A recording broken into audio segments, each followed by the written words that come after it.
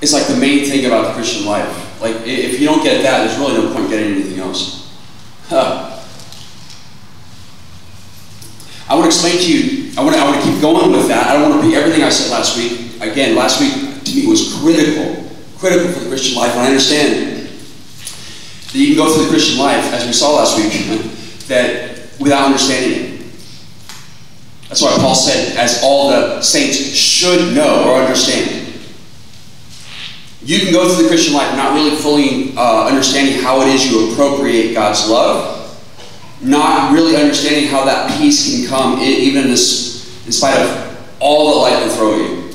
And I said, I said, bring it last week, and uh, I feel like the one who was listening to me was the Lord, and He brought it. And my wife said, please don't say it again. But it really gave me a sense of God's presence.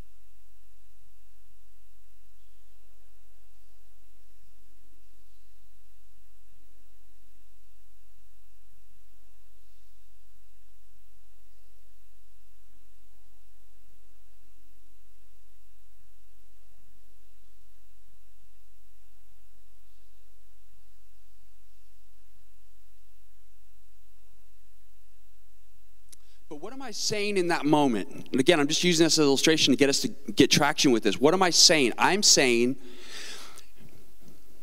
whether I'm oblivious to this or not, like, I'll, I'll, let me back up. We, we don't, here's the way I'll, I'll argue. We don't have to, when we're born, when we come into existence, we don't have to be taught what our soul's needs are. You know, there are certain things as your mind develops, say you're a baby and you're growing towards 18 months and then two years and and three years old and through all those formative years you there's certain things as your brain develops that you take on like for instance the ability to take on memory. At first your, your brain doesn't have that capacity. But the soul is different. Like the way i look at it is the soul comes into existence fully operational. Like it, it has the needs from day one. The needs that it has, it has from day one. It was created with those things. It doesn't have to wait for development. So, for instance, if, if I say, if we say, if we understand everyone's born looking for someone looking for them, that soul need is present from birth. Actually, before I could argue, but in, in what is the first encounter that soul is supposed to have? the mom. Like that soul need is, it comes into the world with that soul need, and that soul need is rushed to be met by the, by the loving arms and embrace of the mother. And that begins to set a strong foundation of security and stability and brain development and all these other things for that child. But if I take that and, and I look at the situation I'm talking about, it's like, having a sense of i need a sense of meaning and fulfillment and satisfaction. But see what here's well, here's the mistake. If i look out a room and i'm, I'm tempted i'm tempted to to to respond with an analysis that says meaninglessness timothy. Now my fallenness and if you look back at my, my life story my, my temptation my weakness is to run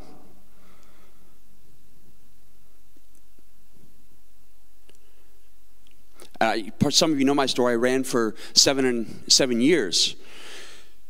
When I got hurt, I would run. That's why my family didn't see me for four and a half years. Intentionally, I was running.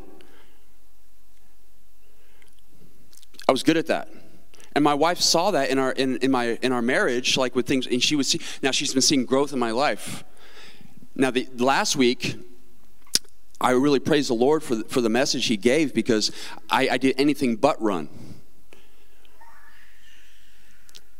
And what, how blessed I was. Now, how, how do I not run? How do I not come back with an analysis that goes to meaninglessness, which is to say, hopelessness, which is to say, dark place headed in that direction?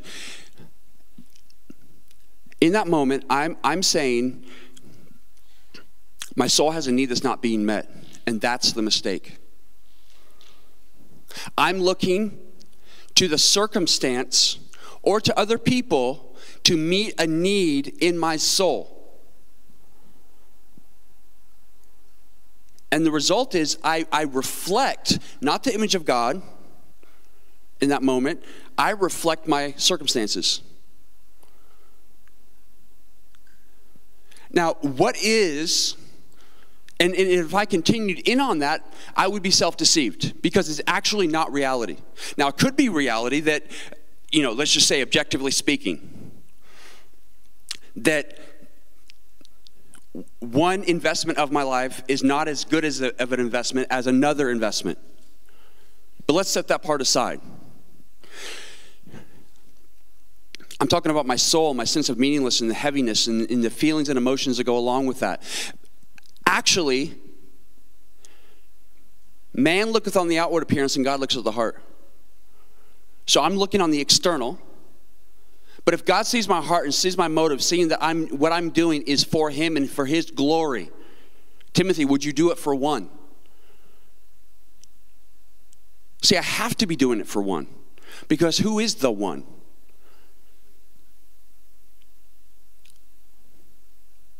And, and if I can remember that and appropriate, like Timothy, it's not meaningless. You're doing it for me. And don't forget, this is infinitely meaningful because you're doing it for me. Timothy, I know you're following my will. Your desire is to please me, to be obedient, to submit to me, all these things. And Timothy, don't forget how much I love you. And when you stand before me face to face on that day, you're going to even more fully understand and experience how much I love you and how meaningful your investment, your sacrifices were for me. To hear, well done, good, good, faithful servant. I'm well pleased. I'm proud of you, and I love you. If I can learn to appropriate that, better yet, if I can learn to experience that love by the power of the Holy Spirit in those moments, what happens? I don't need anything from my circumstances, my environment, to feel satisfied and fulfilled. What is actually true is God is meeting my needs in the moment. And the only reason why I would feel differently is because I've been distracted and forgotten. Do you see? So I'm not desperate for this room to be filled. I want it to be filled, but I'm not desperate for it. I don't have to have it in order to be okay. Now, you think about what you have to have in order to be okay. So, when we're tempted, and here's the way we like to say it. Because, and we're saying this because we want you to get learn the spiritual discipline of paying attention to what your soul is paying attention to. Because when you think about when you're what you have to have in order to be okay, what is it? And you say, in the way, what highlights those moments, those soul moments where your soul is kind of communicating to you, is where you lose it. When you're moving towards depression or darkness or anger or fear, what's happening? Your soul's saying, I'm not, I'm not filled up. I feel a sense of loss. I feel ashamed.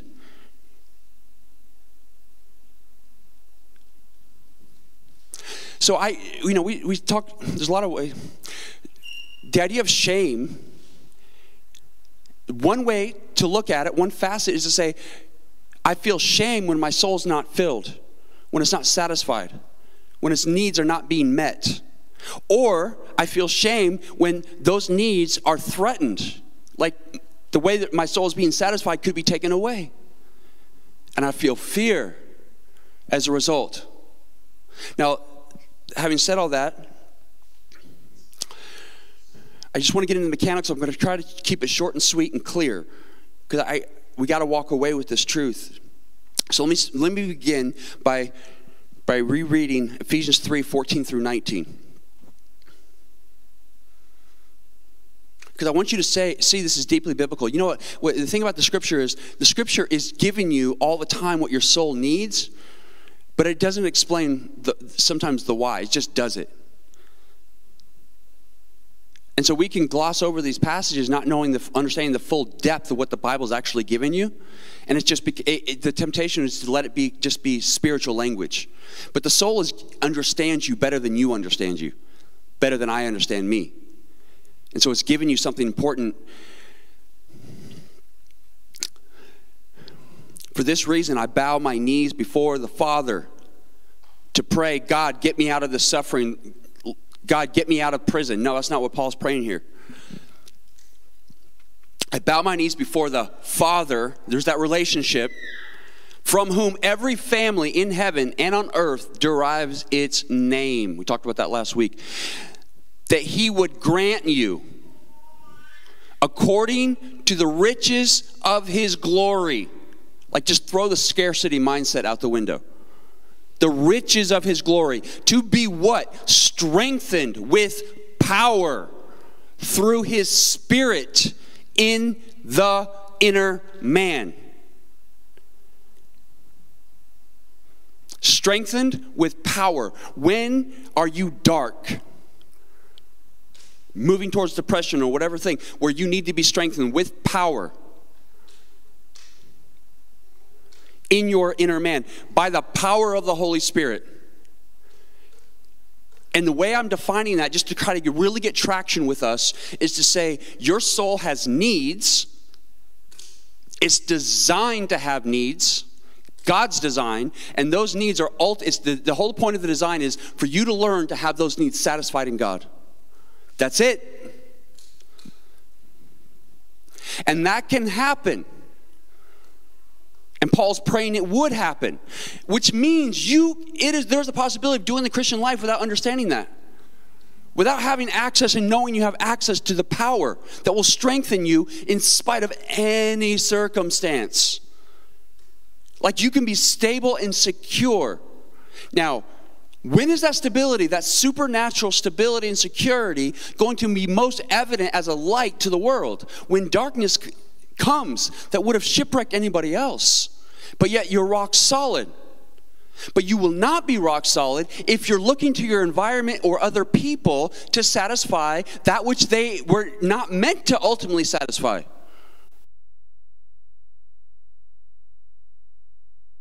I can't, I will fail you, we will fail each other, people will fail you, life will fail you, but guess who will never fail you?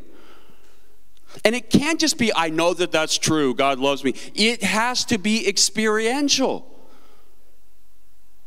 I'm going to talk about that. He goes on, and again, we said verse 17 is a restating of the, petition or request that Paul is making in, the, in verse 16. He's restating it in a different way. So he says in 16 to be strengthened with power through his spirit in the inner man, so that Christ may dwell in your hearts through faith. And notice how the NLT and other translations say so that, as if this was the result. No, it's the same thing stated a different way. Like if you have a Bible software program and you highlight, you have a cursor and you highlight uh, the word so that, whereas every other word in the sentence will have a pop up telling you what the original word is, there won't be a pop up on that because it doesn't exist. The, NL, the English translators is trying to make the flow. But the grammar says it's the same thing as, the, as spirit strengthening with power of verse 16 it's just restated in a different way which is you find all the time in old testament we call that hebrew poetry in the sense of parallelism so that Christ, so I could translate it, that is to say, that Christ may dwell in your hearts through faith.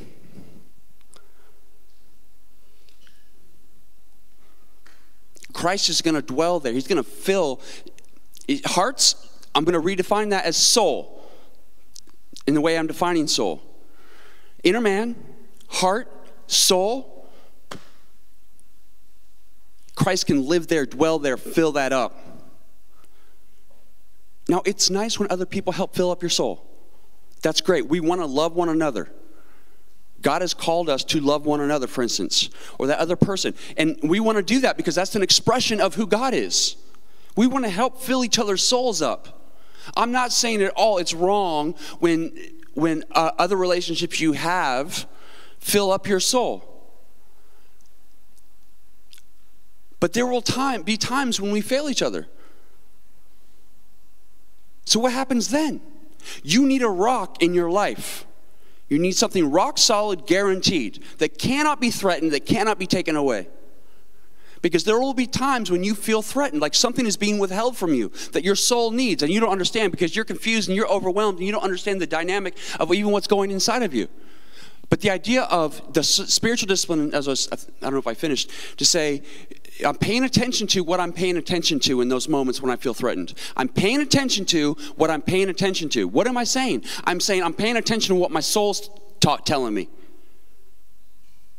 So, in, uh, in just having that discipline of say, and, and always instead of always focusing outward, in those moments of we feel threatened, now we're turning inward and saying, "What is my soul doing?" What's it asking for? How does it feel threatened? Where's the darkness? Because if we if we're just focused externally, we're going to lash out because we're going to grasp. We're desperate. We're trying to regain a sense of security and stability. And because you're a finite creature, you're not always successful at that.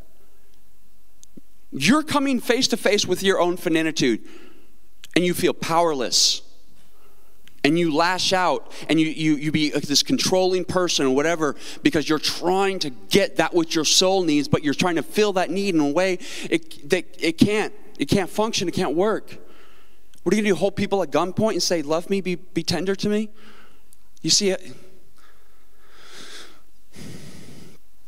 so that Christ may dwell in your hearts through faith, and that you, being rooted, grounded, see the security and stability he's talking about?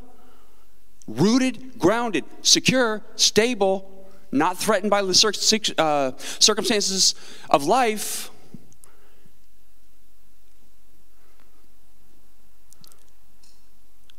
When that, when that one I love most is, is withholding affection from me, I want to lash out and cause them to love me again. No, no, no. I don't have to lash out. I don't have to force because why? I'm rooted. I'm grounded. My soul's satisfied. And when they withhold from me, that's okay. Guess what? I'm filled up and I have something to give. I don't always I don't have to be a taker. I can be a giver. I'm not looking to other people to, to satisfy my soul ultimately which frees me up from any desperation and darkness. I'm here to give. I want to, here's my job I want to love, I want to be the most loving person in the room. That's all my, I need my job to be. I, I want to love people the best. Like, imagine being in a, in a place where that's all everybody's trying to do. The church.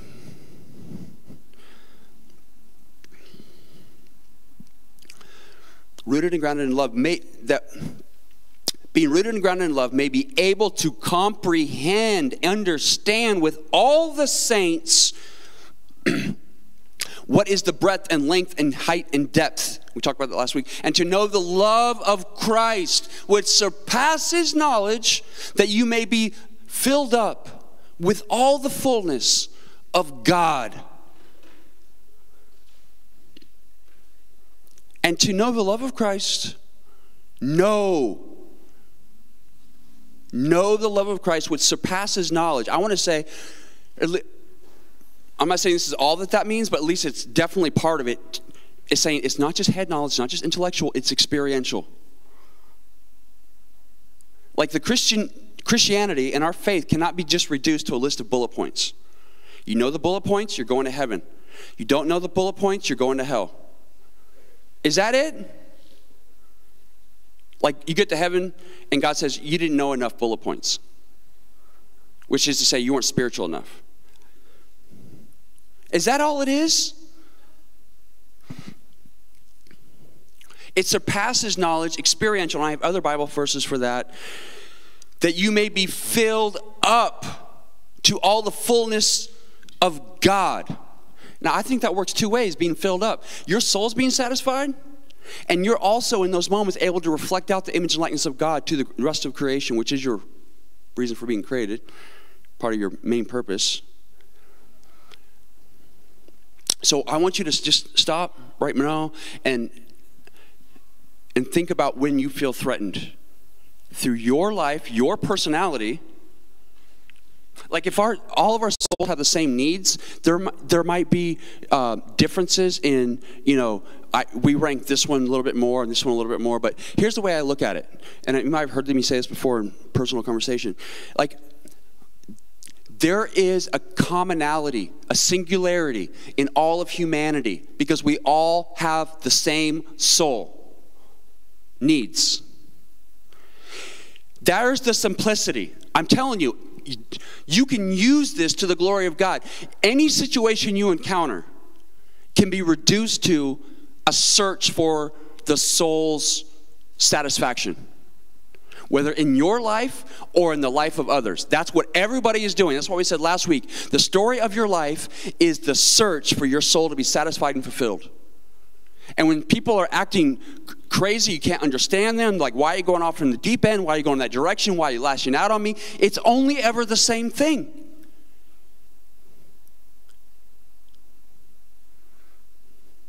Whatever situation it might be, that's what I'm going to argue. Where the complexity comes is in the personality and the life circumstance. Like that seems so complex, and we see, okay, all these people are so different. No, no, if you can see past that in your analysis to see it's the, it's the desire for the soul to be satisfied, you'll be able to help yourself by appropriating God's love, learning that spiritual discipline, but you'll be able to help so many others because you'll see past the complexity to the simplicity of the soul's search for meaning, satisfaction, and fulfillment. That's all it ever is, I'm going to argue.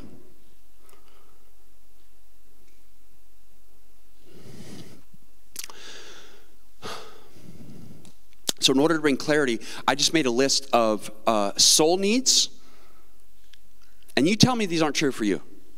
Tell me you're the exception.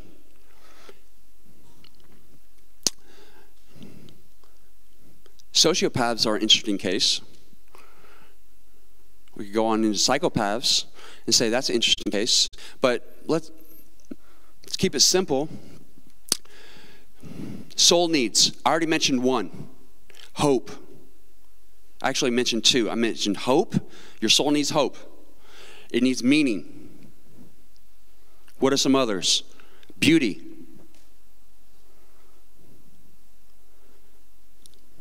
Beauty. Your soul needs beauty. Huh. Artists understand this.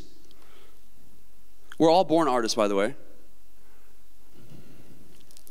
Love. Love. You need your soul needs to be loved. Because you're made in the image and likeness of God, who is love. God is, has all, always, only ever been receiving and giving love in the community of God. Your soul needs love. What, how do we define that? We define it this way. Again, I'm going to keep saying because it gets so much traction. We, we need to be loved in the sense that we feel and sense that we are seen, not invisible, seen, not isolated, seen, not alone. Isn't it funny how it shows up in the cultural vernacular? I see you. Do you see how that works? Culture's onto something. I see you. To be seen, to be known, known, not alien. And understood. To be connected with others and something greater than yourself. The soul needs to be connected with something greater than itself. For instance, that's one of the reasons why my marriage is so deeply satisfying to my soul. Why? Because I not only in my marriage I am seen, I am known, I am understood. But I realize the two of us becoming having become one flesh is greater, the we is greater than the me. It's greater. It's more precious.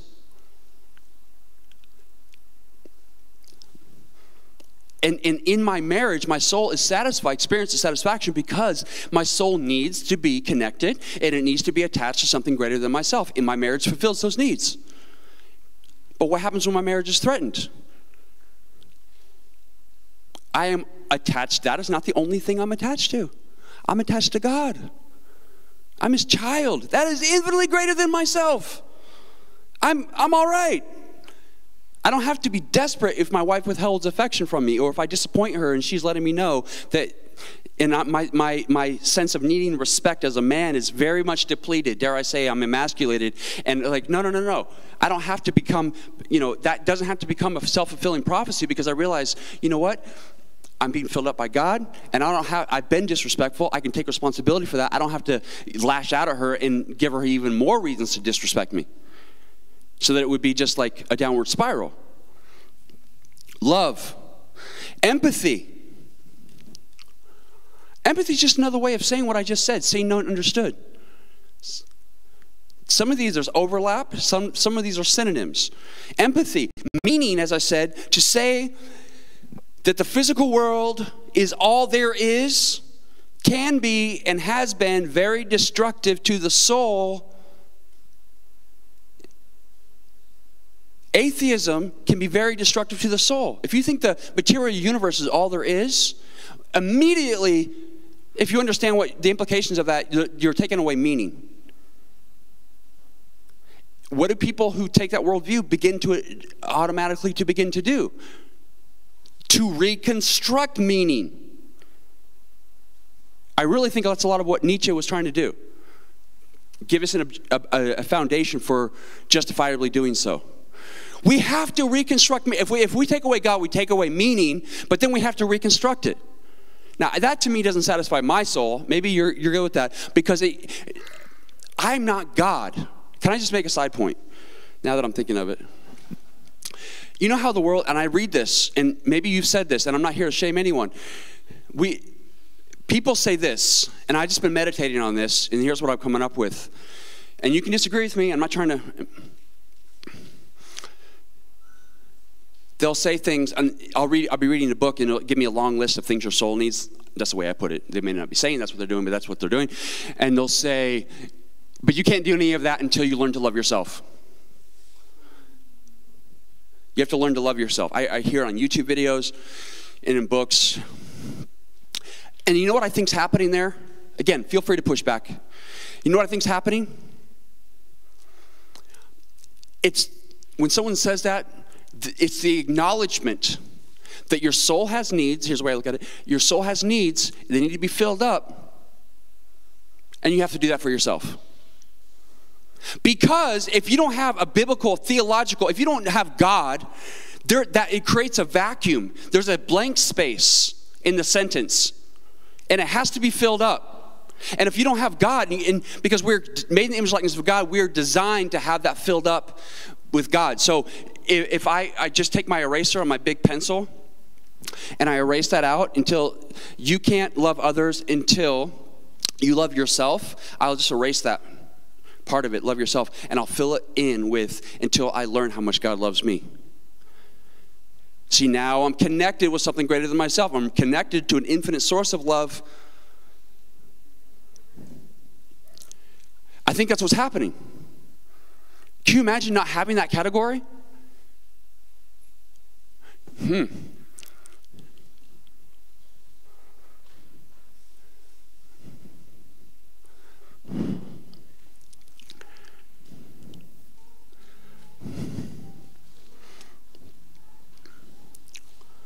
Joy.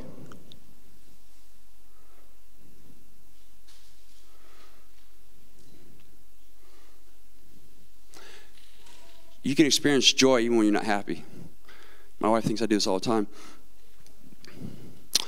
Joy, next to feel worth, your soul needs to feel worth or to feel worthy. Worthy. To know and feel that I am valuable, that I am honored.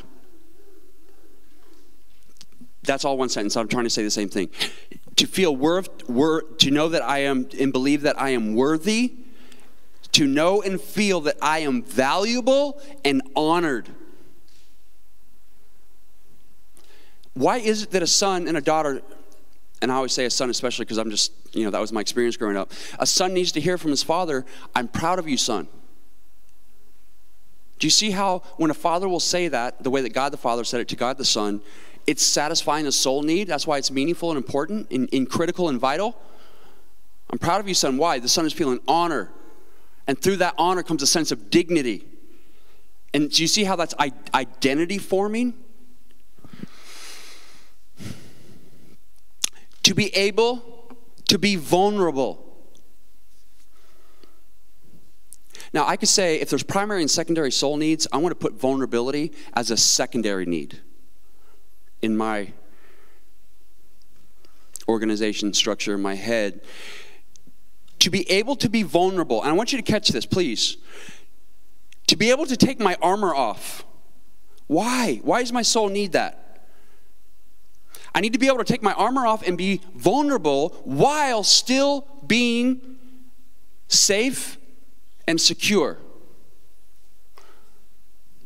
Why?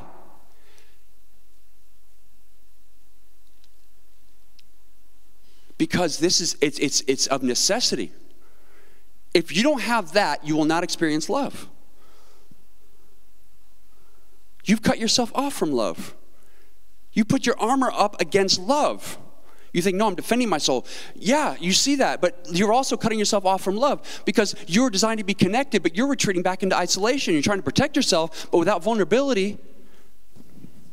If you can't take your armor off, off, how can you be seen? All people see is the armor. Rebecca, I wish you could throw that meme up you showed me this morning. It was Halloween costumes of 2021. Squid Games uh, Scream. I think it was Scream. He's got a long mask. Thanks, Michael. Um, I forget the third one, but the fourth one was what was it, Rebecca?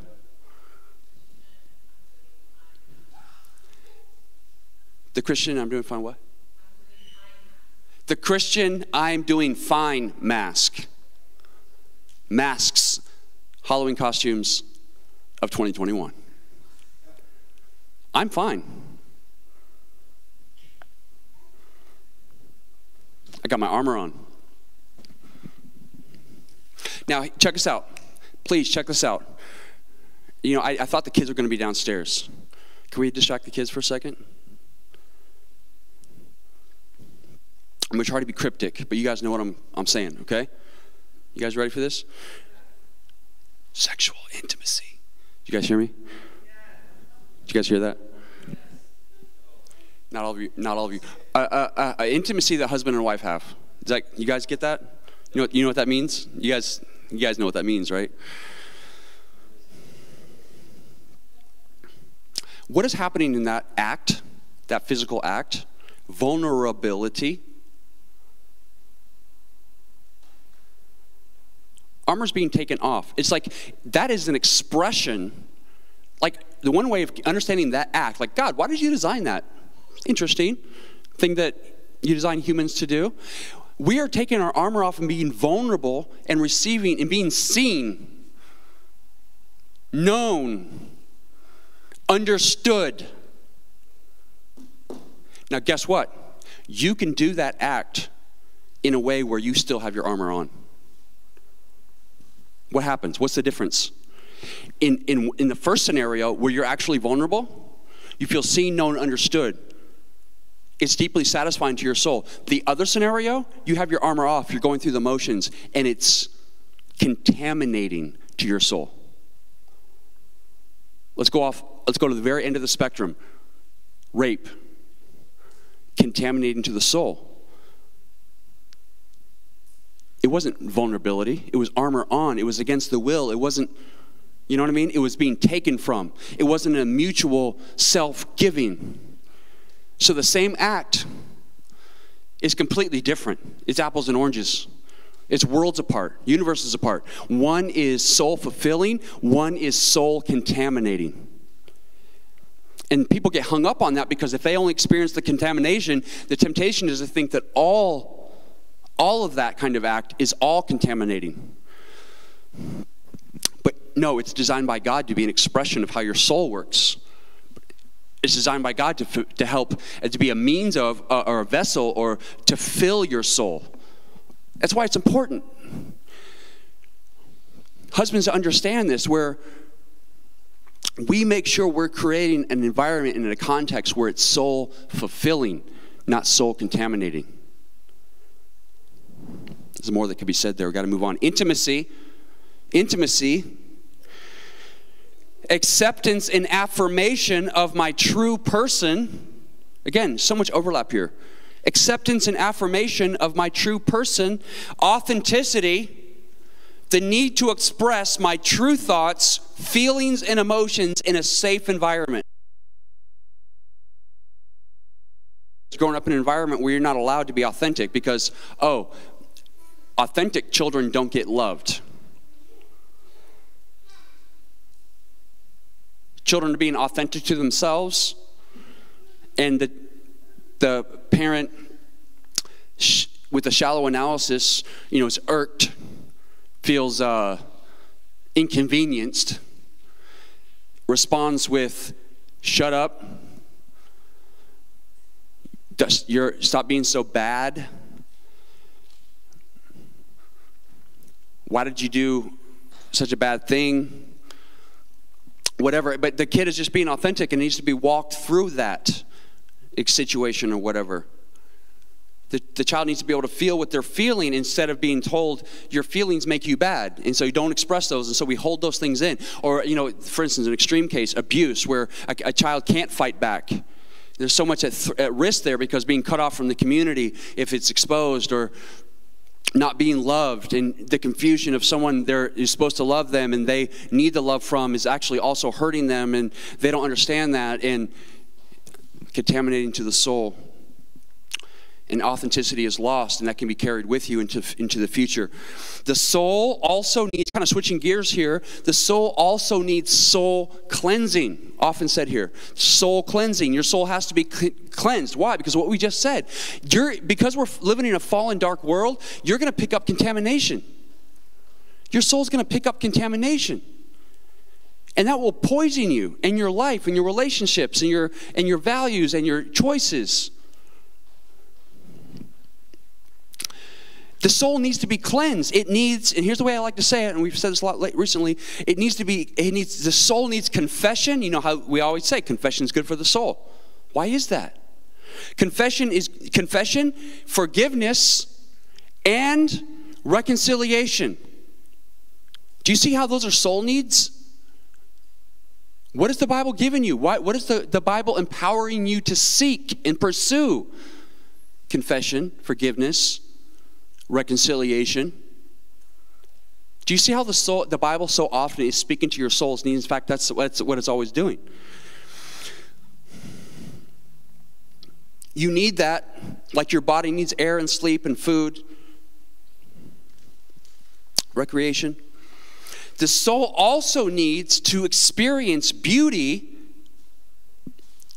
The soul also needs not only to experience beauty, but to help create it. And uh, Diane informed me that Curt Thompson has a new book out, and that's the whole premise. Our souls need to create beauty. And if a young person comes to you which says, What should I do with my life? What career should I have? Tell, speak to their soul. Say, Find something you're passionate about where you can create and bring beauty into the world, and you'll feel, find deep meaning in that.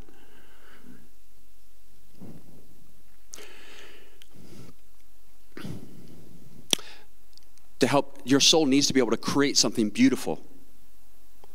I, and I, illustration well how do parents feel when in the delivery room of the hospital tired worn out exhausted but what do they also feel? Look what we did. We, we brought beauty into the world.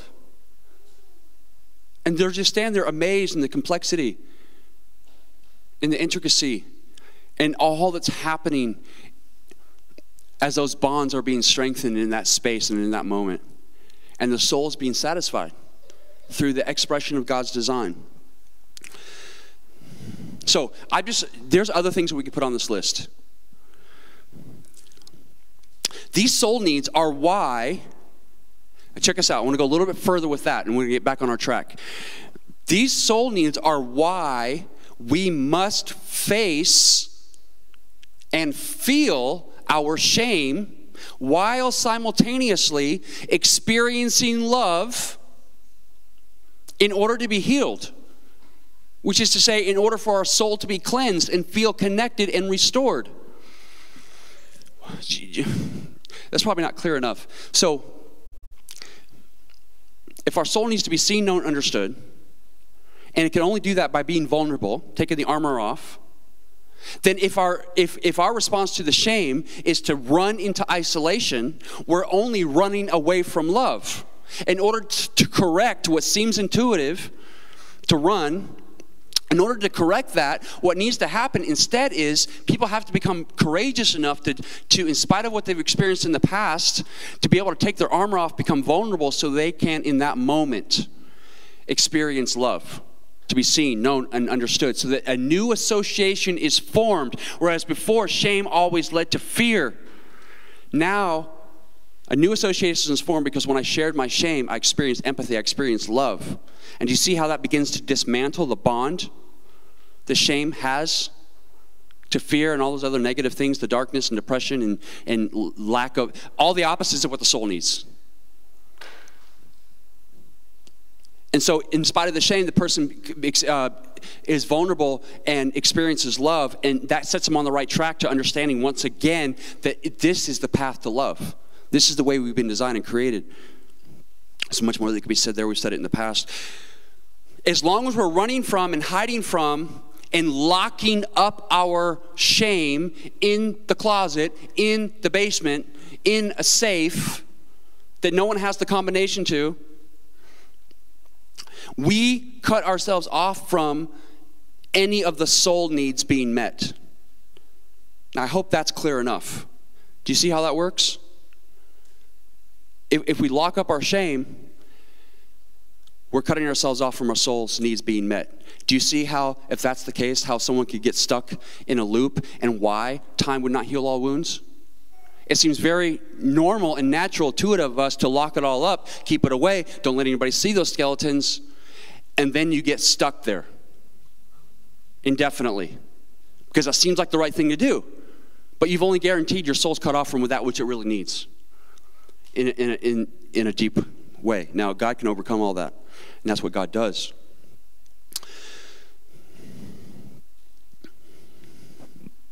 So I want to again repeat myself and say the soul needs that we've just mentioned, for instance, are why we can say that the story of your life is the search to satisfy and fulfill your soul.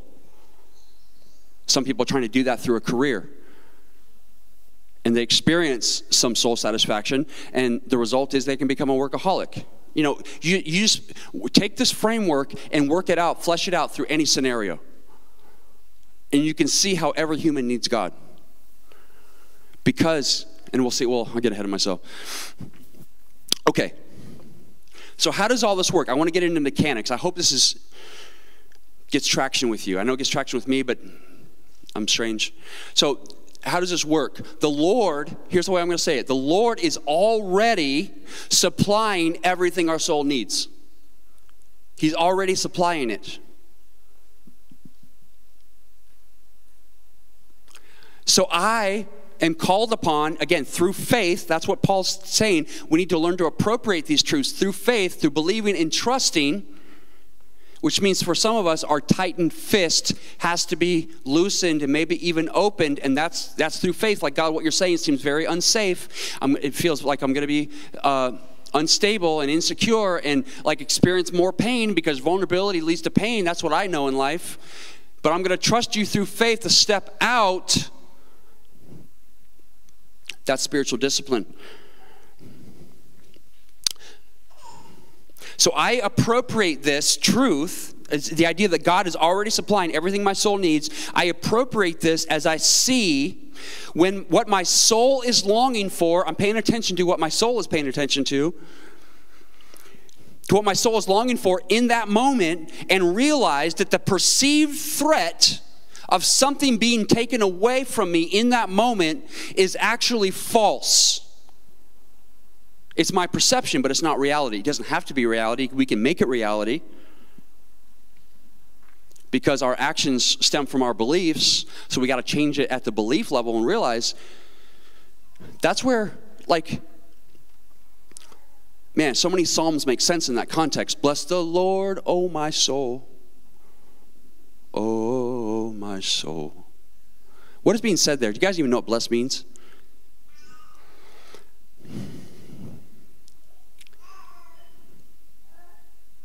You notice it says, Bless the Lord, oh my what? Soul.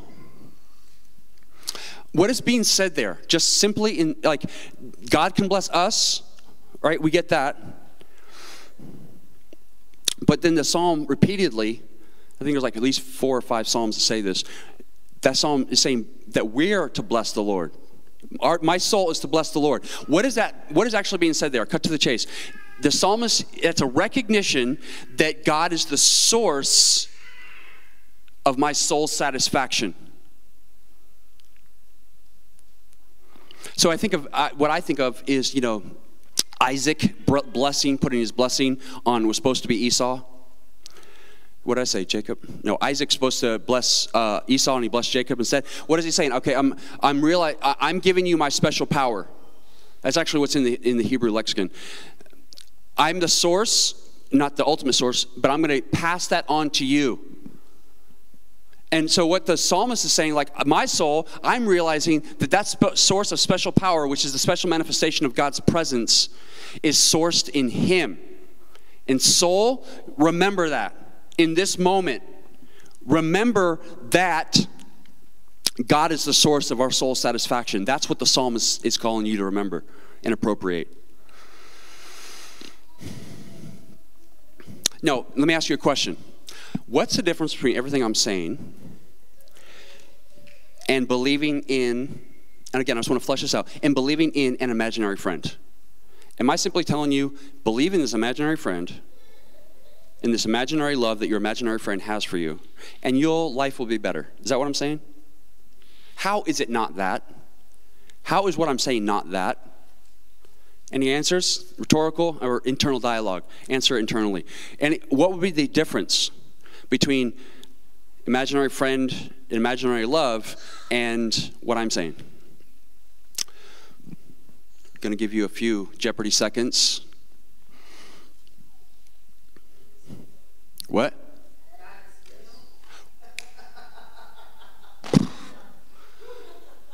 Okay, we got to stop. We got to put the microphone down, and we have to give a round of applause for Adelia.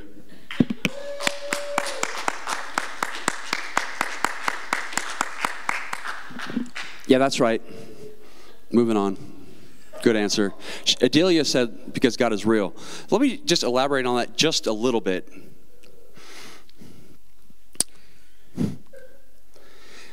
Because, because, here's the difference God, Jesus, the Holy Spirit is absolutely, He is absolutely involved and He does care, and your prayer does change things, and you really, really aren't alone.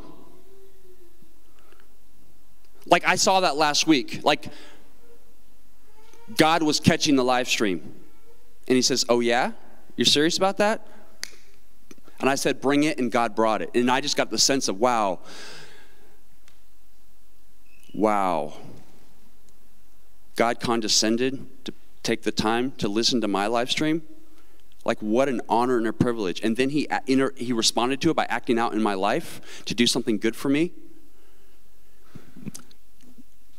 Prayer does change things. You really aren't alone, and He really, really does love you, and He really is working for your good. He really is working for your good. He really, really is working for your good. Now, I, I tested this this week because in that there was a, a a situation that could have been very dark. It was very challenging spiritually. And I said, and I was practicing in my head in, in that moment, I said, what if, you know, everything God had given me through that message and, and God strengthening me and encouraging me and giving me an experience of His love in a very special, special way, meaningful way. What if, Timothy, just for a moment, you set that aside? You set it aside, act like it's not real. What do you got? Whoa. I ended up at a different, different place. I would end up at a different place altogether. Like I would have gone dark, I would have run, I would have gone into self protection mode, I would have denial, uh, blame, everything Adam did in the Garden of Eden after he got caught. Um, my soul would have gone to a dark place. But it was absolutely real to me. And so, what, what is happening, what, what, what the whole difference was the, the Holy Spirit was communicating to me in a very real way that God is for me, not against me. If God is for me, who can be against me? He's got me. I can let go. All I have to do is this. All, Timothy, you have to do is you don't have to grasp it. Your soul's needs being met. They're already met. Just realize and understand that, appropriate that, is submit and obey and please the one. Please the one. And everything will be all right. God will take care of the rest.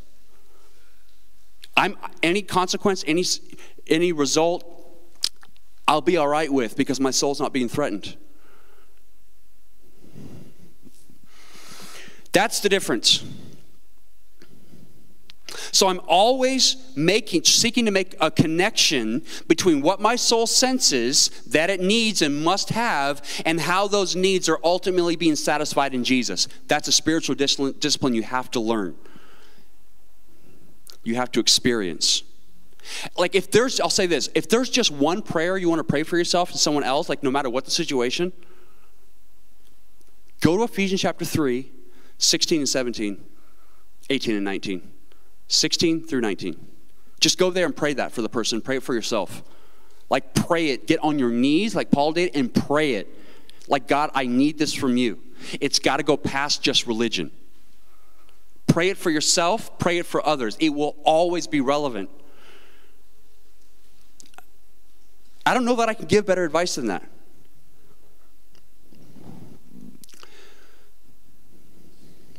Now, uh, here's what I want you to know. Quick, quick point. Just bear with me. This doesn't mean that Jesus will co sign on your sin and rebellion. That this doesn't mean that God loves you so much, He accepts you so much, He's going to co sign, enable, approve of your sin and rebellion. That is to say, if you go out in rebellion against God, it's a strong word, and say, I'm going to seek to satisfy my soul some other way,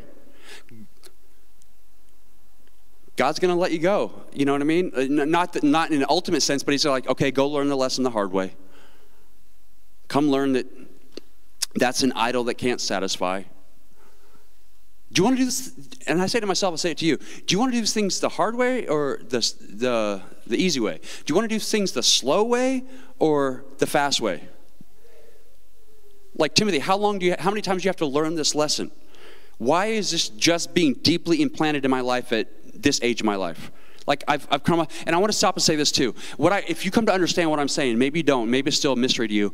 I, I had a friend of mine who was playing a lot of worship music in my vicinity recently.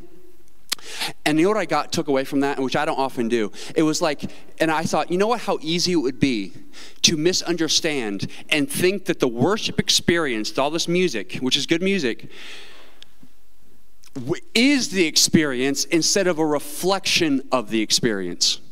I think people could get those confused thinking, okay, when I come into a, a worship environment and I, and I, just feel so blessed and I feel all these emotions and, I, and we're singing about God's love, and to think that that is the experience instead of a reflection of the experience that the Bible is talking about. Now, those two things go hand in hand. It's a very subtle distinction that I'm bringing. And I ask myself further, why do some worship songs, I say some, worship songs sound like secular love songs? And why do some secular love songs sound like worship songs?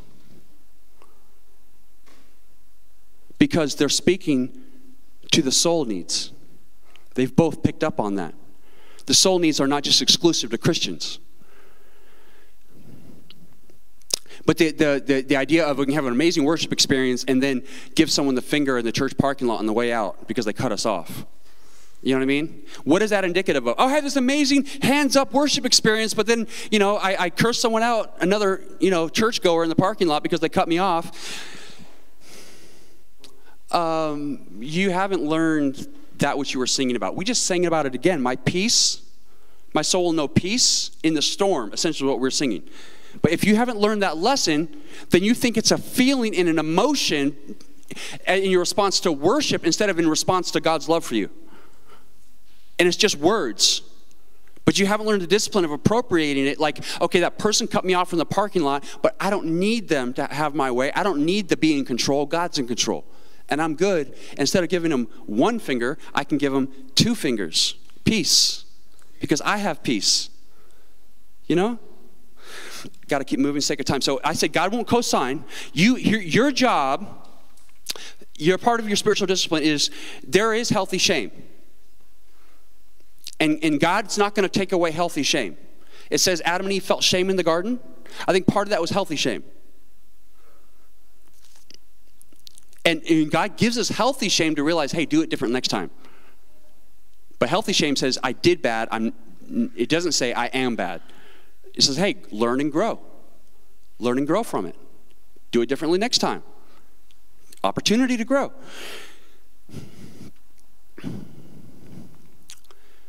you're supposed to listen to your healthy shame. Well, first you have to distinguish between the two, like healthy and toxic shame. Like healthy shame and toxic shame. Even um, even before that, you have to consider the possibility of your own self-deception.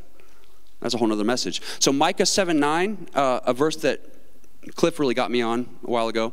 Micah 7 9 says this. Check us out. There's a harsh word that's going to be used. Punish. I will I will be patient I will be patient as the Lord punishes me. Sometimes Timothy needs to be punished. That's what I've learned. I need to learn a lesson. I need some discipline. For I have sinned against him, but after that he will take up my case and give me justice for all I have suffered from my enemies. The Lord will bring me into the light, and I will see his righteousness. Like, Lord, you know what? I deserve some consequences right now. I don't have to freak out. I don't have to run. I don't have to fail to take responsibility. I can admit it. I can be open about it. I can be transparent. I can be authentic because you're my set of soul satisfaction, not my pattern of behavior, not my failures, not my mistakes, not my successes. Now, I would challenge you, in light of all we said, to go home this afternoon and read Psalm 103. Read Psalm 103. Read Psalm 103 and see if it doesn't get more traction with you all that we've been after all we've said. Now, this is only, man. Okay, I got to stop, right? Technically, I got to stop. I really, I feel like we're halfway in. Because now I want to take everything we've said and go back to a bunch of different scripture. And I'll just give you a highlight from next week. That's great because the message is already read, uh, written for next week. I want to get some practical application for all this and for your real life. But how about this verse? In light of everything we've just said, and this, I won't say anything else. We'll just end it here. Again, this is halfway point, so we're not going to have the altar call. Till next week. Matthew 16, 26 says, and what and Jesus says this, and what do you what do you benefit if you gain the whole world but lose your own soul? Now, I'm not saying it means something different than what you normally thought that meant, but I'm saying it may mean more than you understood it to mean. What does it profit a man if he gains the whole world and loses his own soul? Or what will a man give in exchange for his soul? Plenty. He'll trade his soul and the satisfaction of his soul for the chasing of idols, money, career, whatever it might be. What does it profit a man gains the whole world and loses his own soul? Now, that should cause us to think about Jesus. That's Matthew, so we should think back to Matthew chapter 4, the temptation, because Satan was offering to Jesus, hey, you can gain the whole world, all the kingdoms of the world, I'll give to you. So we, we can't forget the context. But nevertheless, in light of what we've been saying. You see how that, that verse has meaning? We'll pick on that up that next week. I want you to have an experience and learn the skill of appropriating the peace that we sang about in the song Prince of Peace. Will you be back next week? Because I wanted to get you out of here and be all practical and just really get this principle, but we gotta we gotta do it justice. So please be back next week. And I'm gonna there's a lot of scripture here that just is picking up right on the same theme.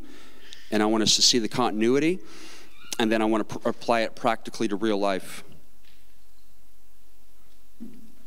Oh, okay, it's going to do it. Father, thank you for who you are. Lord, thank you that you're not the God that I would have come up with in my imagination. You know, the kind that's performance based and the kind that withholds affection because it's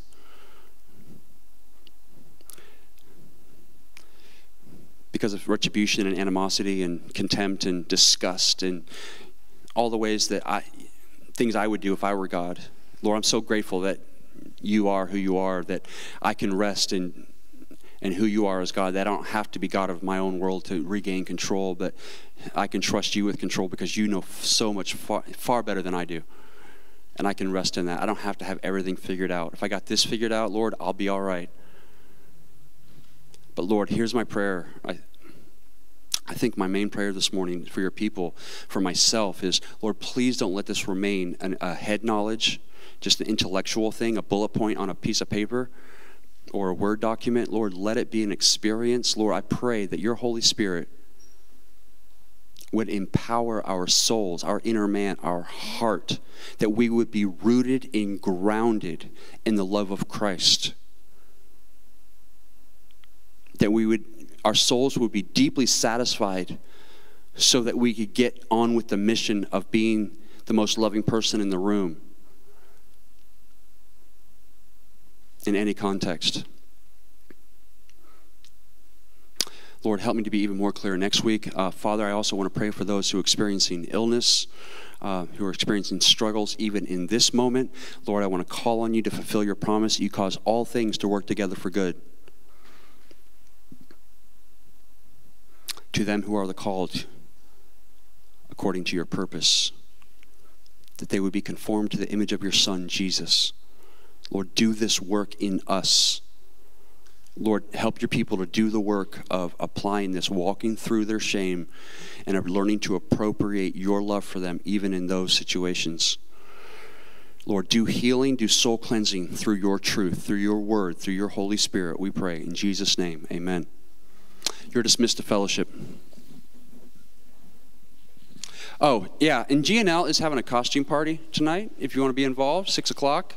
Uh, yeah, and then there is a sign up sheet on our Facebook at this moment for the Friendsgiving, November 21st, 6 p.m., right here. GL meets GNO. And we will say, be saying more about community groups in the near future. Thank you.